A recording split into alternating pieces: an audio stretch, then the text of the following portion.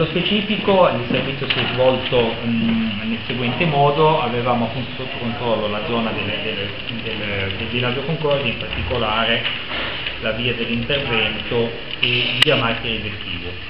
Eh, qui è, notata, è, stato notato un, um, un giovane che eh, si è incontrato con... Eh, con una persona che praticamente è scesa da un'autovettura una lancia che avevamo sotto.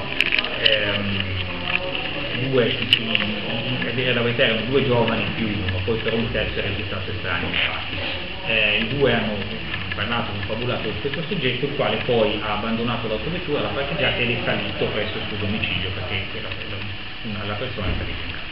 Abbiamo ritenuto quindi opportuno intensificare il, il servizio di osservazione il, la persona è poi riscesa poco, poco, dopo il suo appartamento, si sono gli stessi di nuovo incontrati all'interno dell'autovettura, qui dopo un breve scambio che noi abbiamo tenuto comunque sott'occhio, il, proprietario dell'autovettura è ritornato per l'ennesima volta presso il suo domicilio e gli altri due si sono allontanati. Qui è scattato il blitz perché abbiamo bloccato i ragazzi. Uno dei due non, ha, non è risultato, è risultato del tutto estraneo infatti, mentre sull'altro, occultato nei, genitali, abbiamo trovato circa 27 grammi di madresina, quindi di grammi di sostanza stupefacente marijuana, che è questa qua.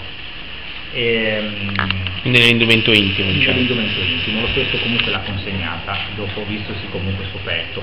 Ovviamente su, questa, eh, su questo sequestro è stato poi come al solito effettuato un narcotest della, in polizia scientifica che ha dato immediatamente il risultato positivo quindi ci siamo subito eh, resi conto che si trattava di sostanze stupefacenti di tipo marijuana. Queste sono due fluorescenze marijuana no, che sono già essiccate sono pronte diciamo, a essere consumate insieme al tabacco e, e per quanto riguarda la, la, il consumo. Ehm, il valore è più o meno 250 euro di quello che abbiamo sospettato.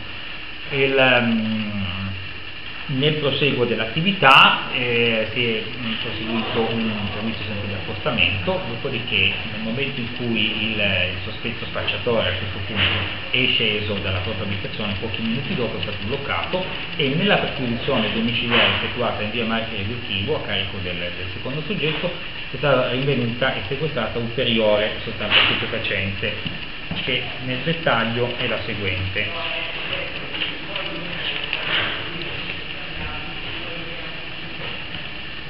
Allora abbiamo circa 17 grammi contenuti all'interno di questo sacchetto.